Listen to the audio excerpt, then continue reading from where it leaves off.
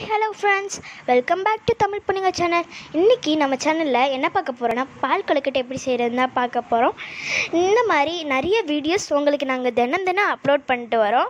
நீங்கள் எங்களோட சேனலை ஃபஸ்ட்டாக பார்க்குறதா இருந்தால் லைக் பண்ணுங்கள் ஷேர் பண்ணுங்கள் கமெண்ட்ஸ் பண்ணுங்கள் மறக்காமல் எங்களோட சேனலை சப்ஸ்கிரைப் பண்ணிடுங்க அப்போ தான் எங்களோட புது புது வீடியோஸ்லாம் உங்களை தேடி வந்துக்கிட்டே இருக்கும்.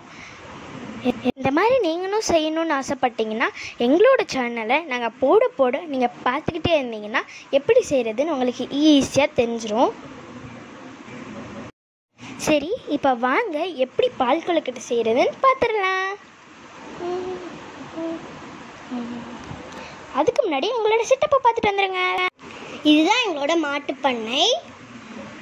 இதுதான் நான் எங்களோட மாட்டுப்பண்ணை எங்களோட மண் பாத்திரங்கள்லாம் பக்கத்துலேயே வச்சுருக்கோம்.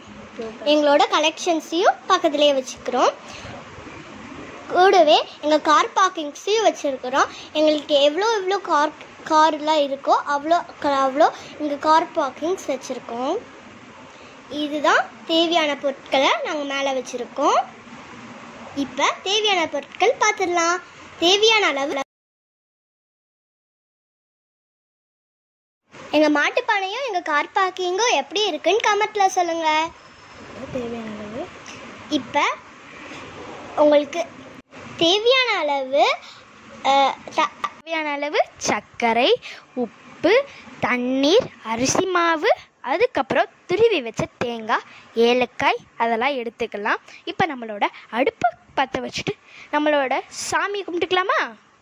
அடுப்பு நல்லா பத்துறதுக்கு அப்புறம் அது மேலே ஒரு கடாய் வச்சுக்கலாம். இப்போ கடாயிலலாம் நல்லா காஞ்சிக்கட்டும். காய் தான் அடுப்புலலாம் இப் இப்- அடுப்பு நல்லா காஞ்சினியும் நம்ம தேவையான அளவு தண்ணி சேர்த்துக்கலாம். அடுப்பு நல்லா கா காஞ்ச காயறதுக்கு நம்ம மூடி வச்சு மூடிடலாம். இப்போ நல்லா இப்போ அரிசி மாவு எடுத்துக்கோங்க. இப்போ அரிசி மாவில் ஒரு டீஸ்பூன் உப்பு சேர்த்துக்கோங்க. இப்போ ஒரு டீஸ்பூன் உப்பு சேர்த்துக்கோங்க. அதை வச்சு கொஞ்சம் நல்லா கலக்கி விட்டுக்கோங்க. மிக்ஸ் பண்ணிக்கோங்க. இப்போ நம்ம இந்த சுடு தண்ணியை வச்சு சுடு தண்ணியை நம்ம மாவில் சேர்த்துக்கலாம். மாவில் கொஞ்சம் ஒரு ஒரு இதுவாக எடுத்து மாவில் வைக்கலாம். மாவில் வச்சுனையும் அது நல்லா ஒரு மாதிரி பால் ஆகுற வரைக்கும் பால் நல்லா சாஃப்டாக ஒரு மாதிரி கெட்டி இந்த மாவுலெல்லாம் சாஃப்டாக பிசைஞ்சுக்கோங்க. இந்த மாதிரி நல்லா சாஃப்டாக பிசைஞ்சு எடுத்துக்கோங்க. இப்போ அதை கொஞ்சம் கொஞ்சமாக குட்டி பதத்துக்கு நல்லா பிசைஞ்சு எடுத்துக்கோங்க. அதே மாதிரி குட்டி குட்டி பாலாக நம்ம உருட்டி வச்சுக்கோங்க. இந்த மாதிரி குட்டி குட்டி உருண்டையெல்லாம் உருட்டி வச்சிடலாமா? சுடு தண்ணி நல்லா கொதிச்சினதுக்கப்புறம் நம்மளோட உருட்டி வச்ச உருண்டைங்களெல்லாம் நம்ம சுடு தண்ணியில் சேர்த்து வெந்து வெந்துனதுக்கப்புறம் எடுத்துக்கலாமா? இப்போ பாருங்கள் ஒரு உருண்டையை நாங்கள் போட்டு டெஸ்ட் பண்ணோம். செம்மையாக வெந்துருந்துச்சு. அதனால இப்போ ஒவ்வொரு உருண்டையாக போட்டு எடுத்துக்கலாம்.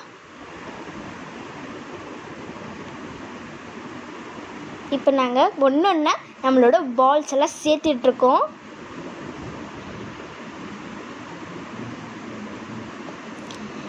பார்த்தீங்கன்னா இப்போ நல்லா ஒரு ஒரு பால்ஸை ஒன்று வெந்துருச்சான்னு டெஸ்ட் பண்ணிங்கன்னா அது வெந்துருச்சுன்னா இப்போ நீங்கள் டென் பால்ஸ் போட்டு நல்லா வேக வச்சு எடுத்துக்கலாம். இப்போ பார்த்தீங்கன்னா எங்களோட பால் எங்களோட மாவு அந்த பால்லாம் எல்லாம் நல்லா வெந்து வந்துருச்சு. இப்போ பார்த்தீங்கனாலே உங்களுக்கு தெரியும். இதே மாதிரி இன்னொரு வாட்டி போட்டு எடுத்துக்கலாம்.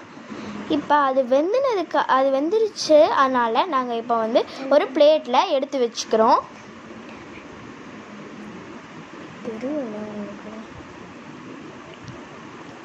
இப்போ நம்மளோட நெக்ஸ்ட் ரவுண்டாக்காண்டி போட்டுக்கலாம் இன்னும் கொஞ்சம் கொஞ்சம். இதுவும் நல்லா வெந்து வந்தனதுக்கப்புறம் நம்ம இதே மாதிரி ஒரு பிளேட்டில் எடுத்து வச்சிடலாம். இப்போ பார்த்தீங்கன்னா நானும் ஒவ்வொன்றா சேர்த்துட்ருக்கேன். இப்போ நல்லா வெந்துருச்சு. இப்போ எல்லாத்தையும் ஒன்றா போட்டு நல்லா வேக வச்சு எடுத்துக்கலாம். இப்போ நம்ம வெந்து வச்சுருந்தோம்ல டூ டைம்ஸ் போட்ட எல்லா பால்ஸும் இப்போ சேர்த்து ஒன்றா போட்டு எல்லாத்தையும் வேக வச்சு எடுத்துக்கலாம். இப்போ பார்த்தீங்கன்னா அதை அந்த அந்த இதில் போட்டாச்சு. இப்போ தே தேவையான ப்ரௌன் சுகரை போட்டுட்டு நல்லா மிக்ஸ் பண்ணிக்கோங்க.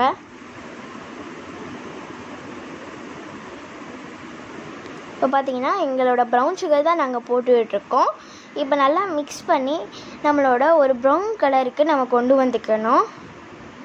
அதுக்கப்புறம் என்ன பண்ணணும்னா இப்போ நல்லா மிக்ஸ் பண்ணதுக்கப்புறம் தண்ணி வற்றுனதுக்கப்புறம் இப்போ நம்மளோட ஏலக்காவை சேர்த்துக்கலாம்.